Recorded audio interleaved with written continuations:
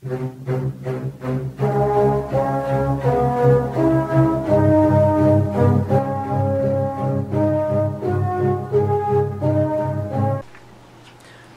Post zmierza ku Wielkiemu Tygodniowi, który rozpoczyna się w Niedzielę Palmową, ku Tryduum Paschalnemu, Wielki Czwartek, Piątek i Wielką Sobotę i ku uroczystości Zmartwychwstania Pańskiego.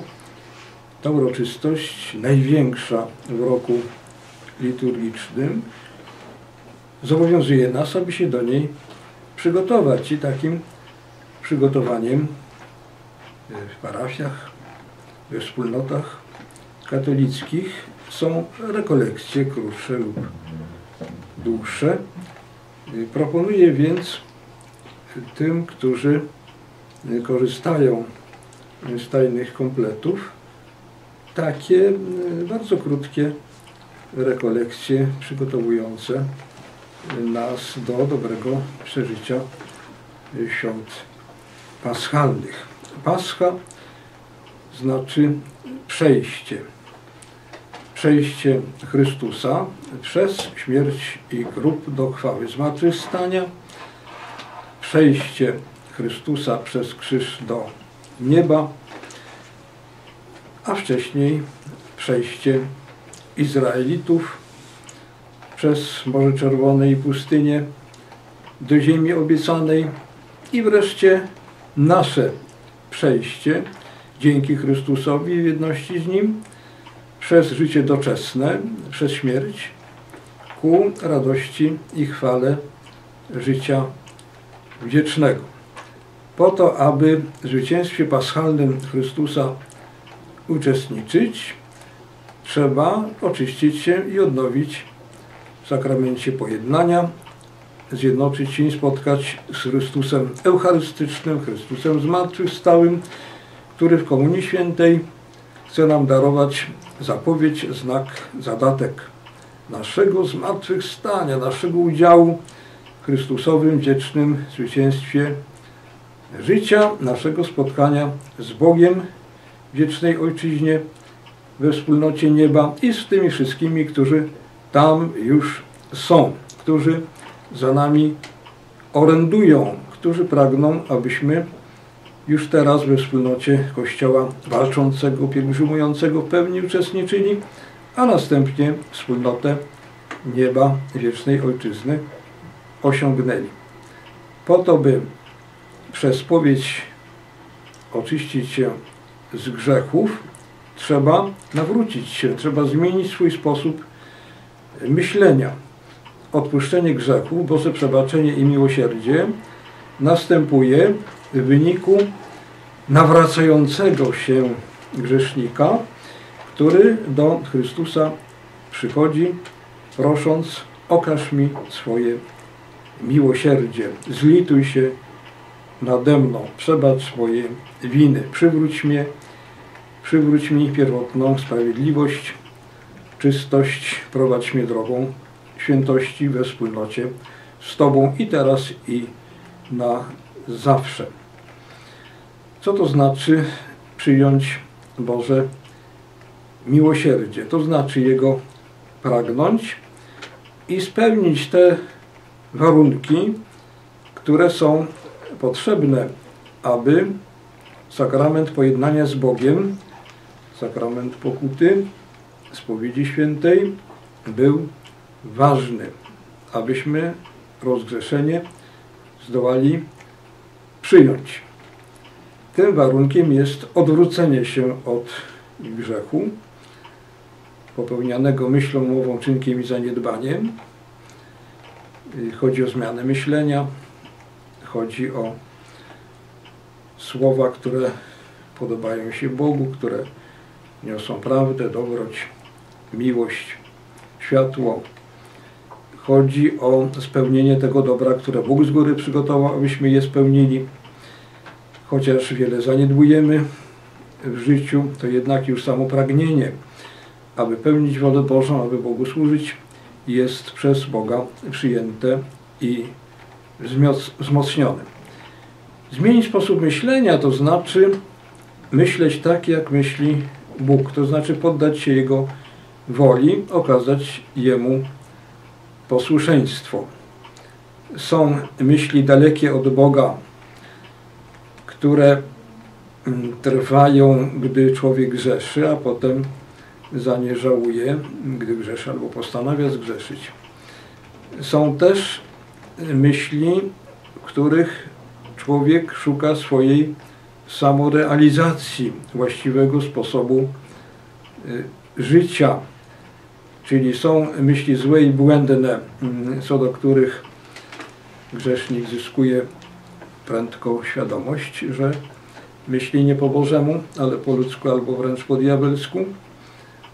Ale są też myśli tak utrwalone zafałszowanej świadomości człowieka, że y, ktoś, kto źle myśli, wmawia w siebie, że myśli dobrze, że tak właśnie trzeba, co więcej, jeszcze zyskuje pewną formę aprobaty ze strony innych, którzy też swoje myśli zwracają przeciwko myślom Bożym. Jest więc myślenie o miłosierdziu, pragnienie, aby Jego dostąpić przez żal za grzechy, przez postanowienie poprawy, przez szczerą spowiedź, przez zadośćuczynienie w takiej formie, w jakiej ono jest możliwe.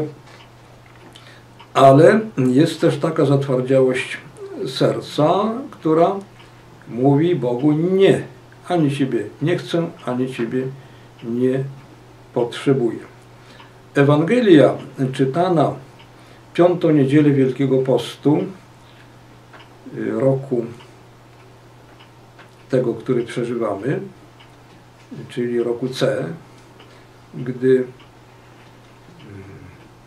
większość Ewangelii wzięta jest, niedzielnych, wzięta jest z Ewangelii według świętego Łukasza. Dzisiaj jednak czytamy Ewangelię według świętego Jana o cudzołożnej kobiecie i o tych, którzy ją wobec Jezusa oskarżają, bo dopiero co została pochwycona na cudzołóstwie.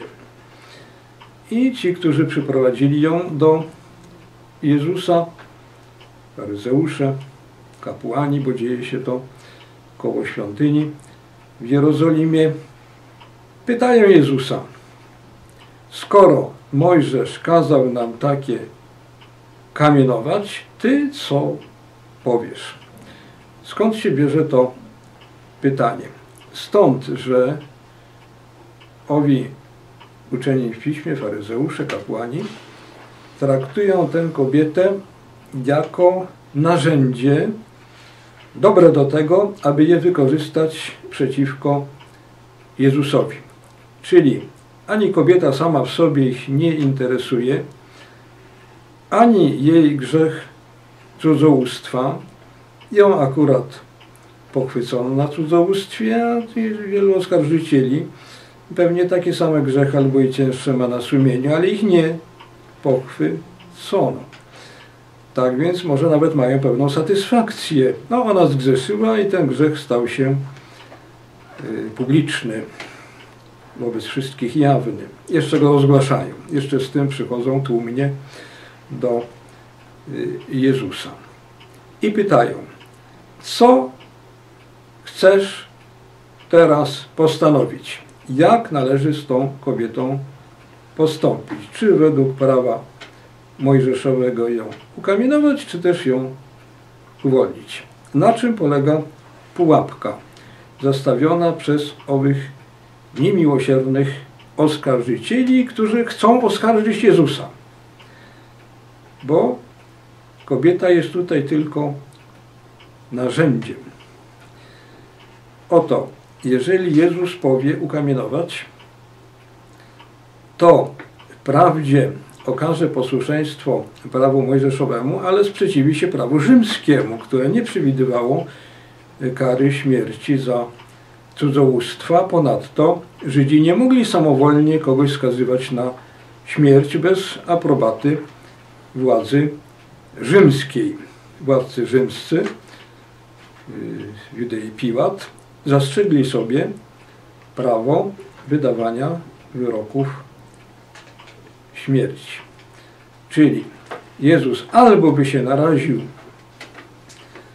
władzy żydowskiej, gdyby powiedział uwolnić ją, lekceważysz prawo mojżeszowe.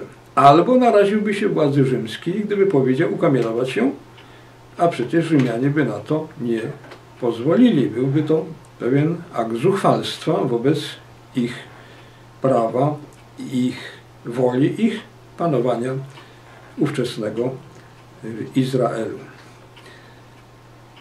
Owi oskarżyciele Jezusa, a nie owej kobiety, chcą więc zastawić na Jezusa pułapkę.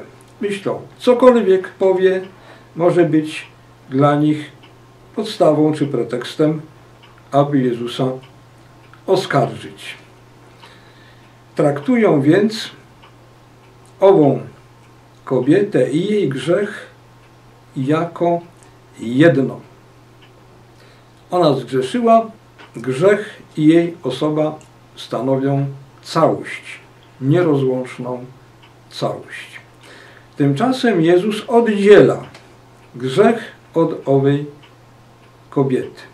Mówi, jeżeli kto z was jest bez grzechu, niech pierwszy rzuci na nią kamień.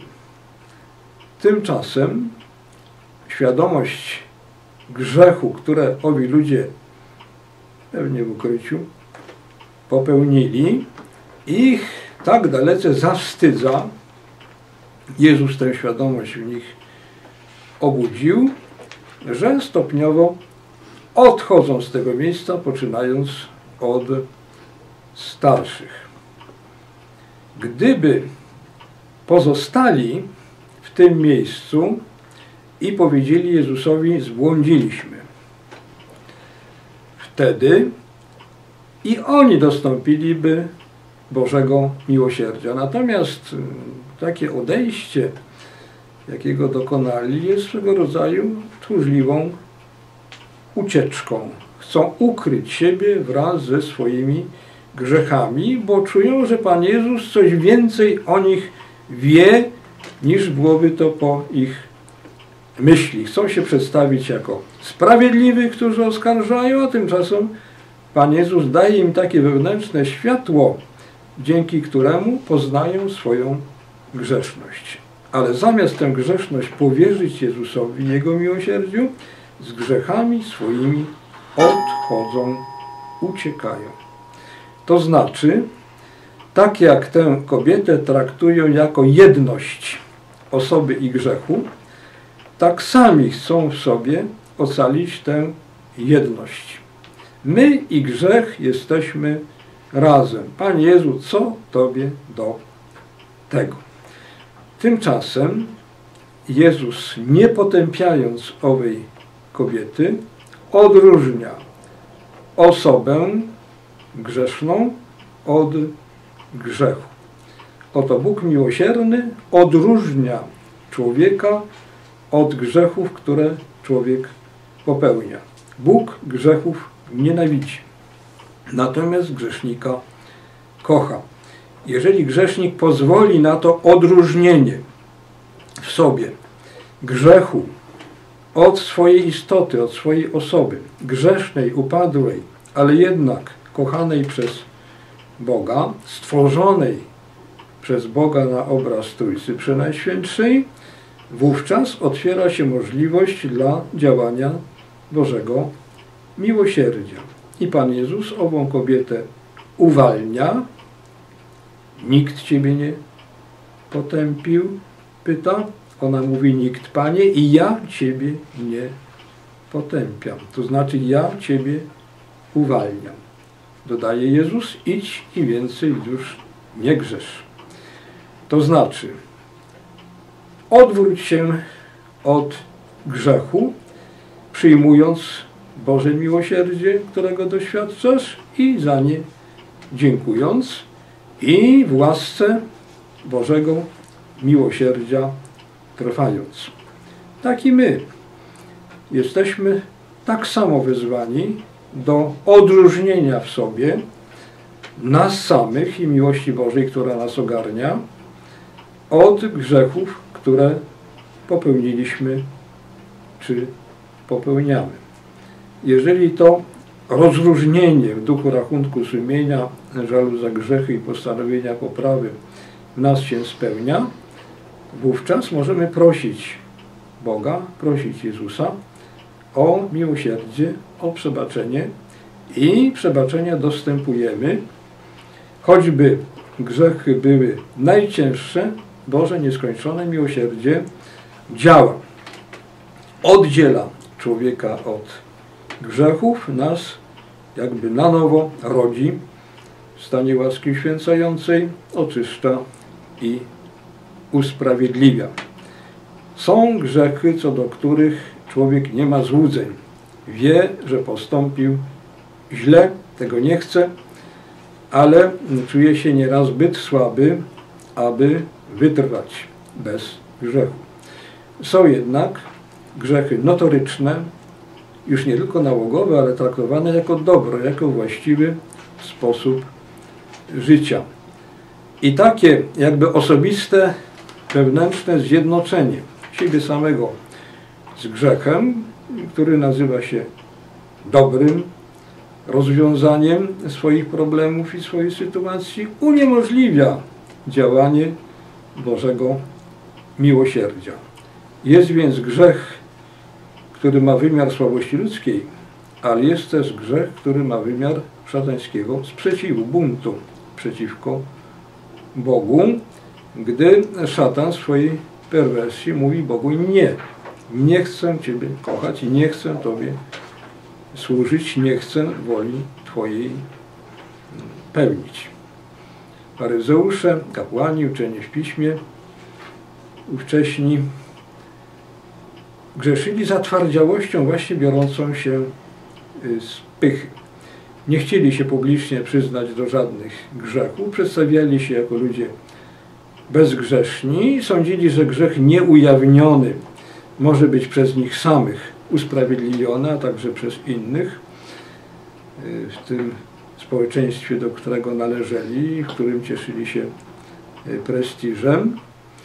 Co więcej, z czasem taka postawa faryzejska w historii ludzkiej prowadzi do wywyższenia grzechu i takiego zespolenia człowieka z grzechem, gdy grzech się traktuje jako dobro. Tak właśnie postępować trzeba. Tak postępują wszyscy, czy prawie wszyscy. Są więc warunki, które umożliwiają przyjęcie Bożego miłosierdzia i dostąpienie Bożego przebaczenia, ale są też takie postawy człowieka, które oznaczają jedność. Ja i grzech jesteśmy razem. Nie chcemy, aby grzech od nas oddzielać, co więcej, grzech traktujemy jako y, dobro. I oto, jeżeli Pan Jezus upominał faryzeuszów i uczonych w piśmie ówczesnych, oni się na Jezusa obrażali. Dlaczego? Bo słowa o ich grzechu odnosili do siebie. Tak jest i dzisiaj. Jeżeli ktoś czuje się dotknięty tym, że jakiś grzech nazywa się po imieniu, zło się nazywa złem.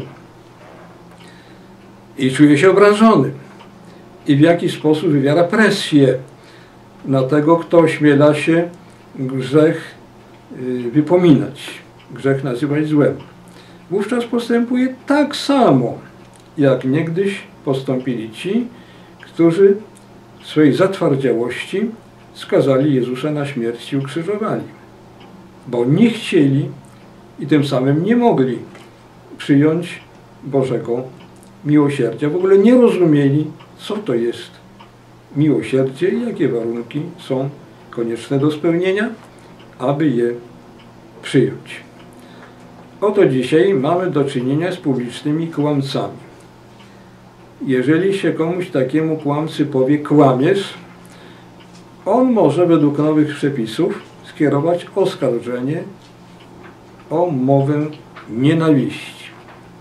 Jeżeli komuś, kto grzeszy publicznie, zuchwale przeciwko piątemu przykazaniu, popierając in vitro, popierając aborcję, popierając eutanazję, powie się grzeszysz, człowiek ma prawo do życia, nie wolno ludzi fazie zarodkowej, płodowej czy jakiejkolwiek starości, niedołężności, choroby zabijać, ów czuje się osobiście obrażony i skłonny jest oskarżać kogoś, kto zło nazywa po imieniu, o szerzenie nienawiści, o mowę nienawiści. Jeżeli teraz myśl ideologii gender niszczy się tożsamość męską i kobiecość człowieka, a przecież Bóg stworzył człowieka jako mężczyznę i kobietę. Niszczy się małżeństwo, niszczy się rodzinę, rodzicielstwo, ojcostwo, macierzyństwo i ktoś powie, że takie niszczenie dobra w wymiarze osoby ludzkiej, w wymiarze miłości małżeńskiej, wymiarze miłości rodzicielskiej jest złe, obrażeni siewcy takiej właśnie ideologii gender korzystają z praw stanowionych, przeprowadzonych myśl ich ideologii, formują, formułują oskarżenie o mowę nienawiści i śpieszą z sankcjami, aż po sankcję uwięzienia, albo w przypadku rodziców po sankcję odebrania dzieci rodzicom, jeżeli ci wychowują dzieci zgodnie z dekalogiem, zgodnie mm, z moralnością naturalną, prawem naturalnym. Wtedy takie wychowanie odrzucone na mocy ludzkich ustaw jako właśnie szerzenie nienawiści, jako posługiwanie się mową nienawiści wobec dzieci, po to, żeby dzieci kształtować, wbrew ideologii gender, czy innym ideologiom poprawności politycznej, która kwestionuje istnienie prawdy obiektywnej, czy wszelkich innych ideologicznych pomysłów irracjonalnych, a zarazem zwróconych przeciwko woli Boga Stwórcy, Boga Zbawcy, przeciwko ludzkiej naturze, wówczas ludzkie ustawodawstwo, prawo stanowione może sięgać po bardzo zróżnicowane i uciążliwe sankcje, po to, żeby ludzi zastraszyć i stopniowo, poczynając od edukacji przedszkolnej, szkolnej czy uniwersyteckiej, oduczyć myślenia, oduczyć korzystania z wolności i oduczyć tworzenia więzi bożoludzkich i międzyludzkich na zasadzie wspólnoty. Miejsce wspólnoty proponuje się pewne formy współdziałania, nieraz o wymiarze wręcz przestępczym, mafijnym, gangsterskim, złodziejskim, zabójczym, zakłamanym i to przynosi pewne korzyści, daje jakąś satysfakcję. Człowiek osiąga swoje doraźne cele. Tak jak faryzeusze uczeni w piśmie, wcześniej arcykapłani żydowscy, sądzili, że swoje cele udziału w panowaniu, podporządkowanemu zresztą pogańskiej władzy rzymskiej, ale z tym się jakoś godzili, pewne korzyści czerpali z posłuszeństwa wobec przedstawicieli władzy rzymskiej, sądzili, że te korzyści są ważniejsze od głoszenia prawdy Ewangelii przez człowieka, który się im nie chce podporządkować. I dlatego, wskazując na śmierć Jezusa, sądzili, że wyeliminują tę przeszkodę, która zagraża ich władzy, ich panowaniu i korzyściom z tą władzą y, związanym. Oby ten sposób myślenia nas wewnętrznie jakoś nie oddalił od Boga. Czyli pierwszym grzechem jest złe myślenie, brak rozumu, brak właściwego użytku z własnej wolności, brak szacunku dla prawdy, którą Bóg w nas zawarł i którą potwierdza przez swoje objawienie. Ukazuje prawdę i w sensie doczesnym, i w sensie wiecznym, jaką możemy w sobie odkryć, poznać, potwierdzić i w niej na zawsze uczestniczyć w duchu miłości. A miłości bez prawdy, kim jest Bóg, kim jest człowiek, przecież nie ma. Tak jak międzyludzka miłość małżeńska, rodzinna wymaga uszanowania prawdy. Kim jest osoba, z którą się ktoś wiąże jako mąż, jako żona, kim jest współmałżonek. Kim są dzieci, którym dało się początek, gdy mm, zaczęły istnieć w łonie matki, przechodzą kolejne fazy swojego rozwoju do urodzin i później wzrastają ku dorosłości, ku e, starości i ku przejściu przez śmierć ku światłu życia wiecznego. Jeżeli tę prawdę się poznaje i się szuka, wtedy y, można kochać w prawdzie. Natomiast jeżeli miłość sprowadza się do uczuć, pragnień, pożądań, potrzeb, chwilowych y, postaw związanych z jakimiś atrakcjami, które człowieka poruszają, wtedy miłość nie oparta na y, prawdzie staje się czymś ulotnym, a niekiedy zwodniczym i może wprowadzić na drogę grzechu, tak jak mm, często młodzi ludzie, zanim zawrą związek małżeński albo go nie zawrą, w ogóle może nawet nie mają takiego zamiaru, uważają, że wszystko im wolno, skoro się kochają. A to jest grzech. A nie, ja tego za, za grzech nie y, uważam, bo my się mm, kochamy. Takie się mm, kochanie za cenę mm, grzechu kończy się prędzej czy później e, rozejście się, się dwojga. Też nieraz w imię jakiejś trzeciej mm, miłości, która okazuje się silniejsza od poprzedniej, od mm, poprzednich. Czyli przeciwnik, który chce w nas zgasić wiarę, rozum, ducha,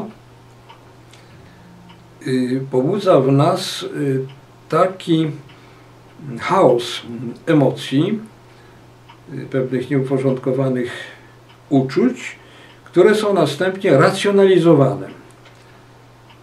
Człowiek myśli, że jeżeli coś czuje, to to jest dobre, a jeżeli to jest dobre, to to jest prawdziwe. Mam taką swoją osobistą prawdę, mam takie swoje dobro, które wybieram bo ku temu skłaniają mnie moje uczucia. Tymczasem uczuciami można na wiele sposobów sterować, można je pobudzać, można na emocjach grać i na tym polega właśnie współczesna medialna propaganda, która odwołuje się do niskich, prymitywnych odruchów emocjonalnych, uczuciowych człowieka, który widzi świat w kategoriach to mi się podoba, a to mi się nie podoba. Kościół mi się nie podoba, dekalog mi się nie podoba, natomiast y, TVN24 mnie się mm, podoba, prawda, albo Gazeta Wyborcza mi się podoba, prawda, albo jakiś kabaret, y, w którym słyszę bluźnierstwa, zniewagi, przekleństwa. I jeszcze do tego widzę nagość, mnie się podoba. No więc jeżeli tak świat widzimy, mm, dzieląc rzeczywistość na ten i wycinek, który mi się podoba mm, i na ten, który mnie się nie podoba, no to wtedy jesteśmy już zupełnie w pułapce. Pułapce pewnego odczłowieczenia, mm, wymużdżenia. Przeciwnik robi ludziom w ten sposób wodę z mózgu, a gdy ten proceder odnosi się do grzechu, samo pojęcie grzechu jest zakwestionowane.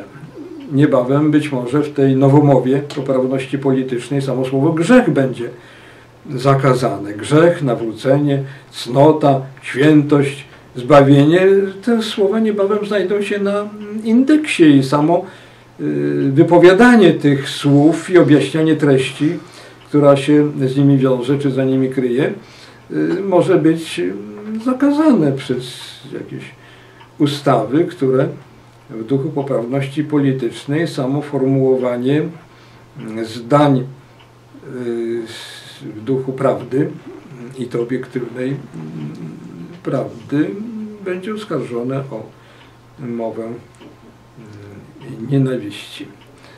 Y, czyli mm, bez zrozumienia związku między miłością a prawdą, bez obrony prawdy, y, bez y, takiego myślenia, które chce z Bożym myśleniem się zjednoczyć i spotkać, ani nie ma nawrócenia, ani nie ma ocalenia człowieczeństwa w miarze doczesnym. Człowiek staje się bezmyślną istotą, tresowaną na zasadzie bodźca i reakcji, takim jakby psem Pawłowa. Yy, natomiast Bóg stwarza nas do, stworzył nas do wyższych rzeczy. Mamy, mamy tę wyższość od świata zwierzęcego w sobie rozpoznać, obraz Boży w sobie uszanować i te metody współczesne, ideologiczne i racjonalne zresztą niszczenia obrazu Bożego odrzucić. Jest to pierwsze zadanie, które w duchu nawrócenia trzeba odnieść do siebie, a zarazem dać y, na miarę swoich możliwości świadectwo prawdzie innym ludziom, sprzeciwiając się odważnie y, kłamstwu. Ponieważ świadectwo dane prawdzie nieraz y, kosztuje, no więc znowu takie rozważanie bilansu, co mnie się bardziej opłaca, też nieraz prowadzi do takiego wyrachowanego poglądu, że korzyść materialna jest y, lepsza z punktu widzenia interesów życiowych od korzyści duchowej. Tymczasem człowiek jest owszem ciałem, ale ciałem uduchowionym. Y, człowiek jest duszą, duszą ucieleśnioną. Y, jakieś deprawowanie ciała mm, poprzez traktowanie go jako przedmiotu użycia i konsumpcji, y, czy też deprawowanie duszy przez zwrócenie duchowości człowieka w stronę y, sekt, w stronę mm, okultyzmu, w stronę magii, w stronę wróżbiarstwa. Tak dzisiaj powszechna jest ta deprawacja. Z jednej strony ciała, z drugiej strony Y, ducha stopniowo uniezdalnia człowieka y, do tego, aby dobro, prawdę rozpoznać, więź miłości z Bogiem nawiązać, a miłość Boża, chociaż nam jest y, darowana i to w stopniu niepojętym, nieskończonym, to jednak wtedy w nas działa, gdy jest przez nas przyjęta, gdy jest przez nas odwzajemniona.